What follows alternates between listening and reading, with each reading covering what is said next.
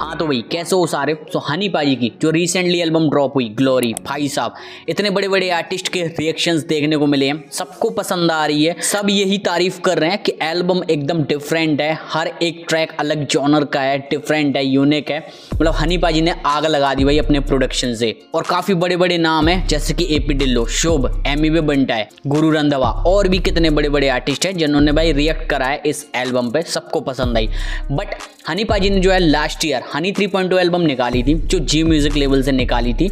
T series को नहीं दी थी due to some reason so वो एल्बम जो है ना, हनी पाजी के हिसाब से, भाई वो फ्लॉप एल्बम है, क्योंकि लोग जो है हनी पाजी से बहुत ज़्यादा एक्सपेक्टेशंस रखते हैं। अगर वही एल्बम कोई अदर आर्टिस्ट करता तो उसके लिए वो सुपर डुपर हिट होती।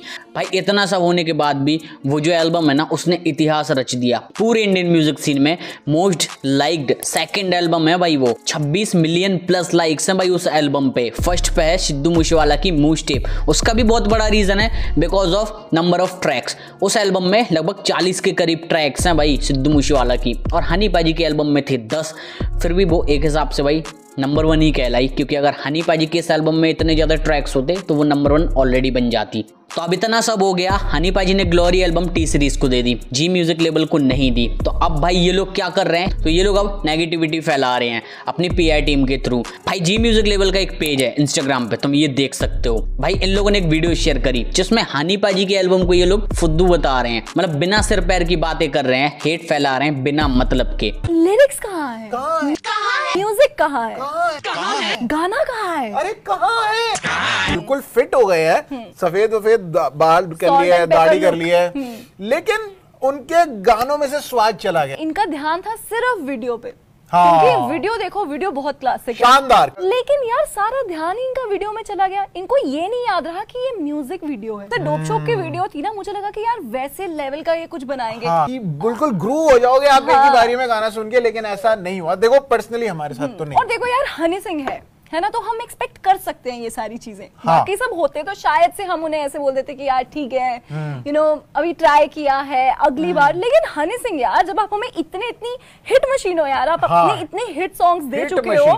मतलब किसी भी आर्टिस्ट के साथ हनी सिंह मिलके और इतना बढ़िया गाना बनाते थे तो मज़ा आ जाता था। तो यार देखो वो कम की वेट करते करते हम लोग थक गए हैं। लौट Although- आओ हनी सिंह। लौट आओ यार। खैर 90% तो लोगों को एल्बम पसंद ही आई है। अब पाँच दस परसेंट कुछ लोग आ जाते हैं जो कि भाई हेट करते हैं हनी पाजी से या फिर भाई उनको पैसे दिए जाते हैं कि तुम नेगेटिविटी फैलाओ और कहाँ से पैसे दिए जाते हैं आई थिंक तुमको बताने की ज़रूरत नहीं है। तुम लोग समझ गए होगे। बाकी इसके अलावा तुमको पता है क्या? हनी पाजी ग्लोरी एल्बम में चार दीवारी के साथ भी कोलेबोरेशन कर चुके हैं। उन्होंने तीन चार गाने बनाए थे चार दीवारी के साथ में बट कोई तगड़ा सा ट्रैक नहीं लगा। दैट्स बाय इन लोगों ने ड्रॉप कर दिया भाई। कैंसिल ही कर दिया ट्रैक नहीं निकाला। अब हनी पाजी जो है प्लान कर रहे हैं कि आई वी टू या फिर किसी अदर प्रोजेक्ट में, चार दीवारी के साथ में गाने करेंगे। बाकी हनी पाजी का मिलियन ट्रैक इसने कंप्लीट कर लिए हैं 28 million plus views with 1.6 million likes और दो लाख कमेंट्स भी होने वाले हैं।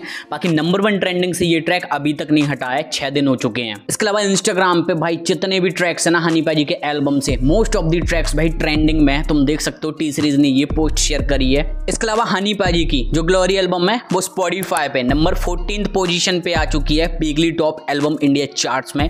दैट्स गजब। इसके अलावा हनी पाजी, फारिश शफी ना जो, Pakistani rapper hip hop artist उनकी पूरी की पूरी एल्बम प्रोड्यूस कर रहे हैं। एक तो हनी पाजी एमएवी की, जो एल्बम आने वाली है दीन और दुनिया। उसका म्यूज़िक प्रोडक्शन करेंगे। दूसरा फारिश शफी है। दैट्स गजब ब्रो तो कौन कौन एक्साइटेड है भाई? इनके एल्बम के लिए कमेंट्स में बताओ, क्योंकि हनी पाजी बीट प्रोड्यूस करने वाले हैं। बाकी यहाँ तक आ गए हो तो वीडियो को लाइक शेयर कर दो और चैनल को कर लो सब्सक्राइब अगर हनी पाजी के फ़ैन हो। बाकी बाय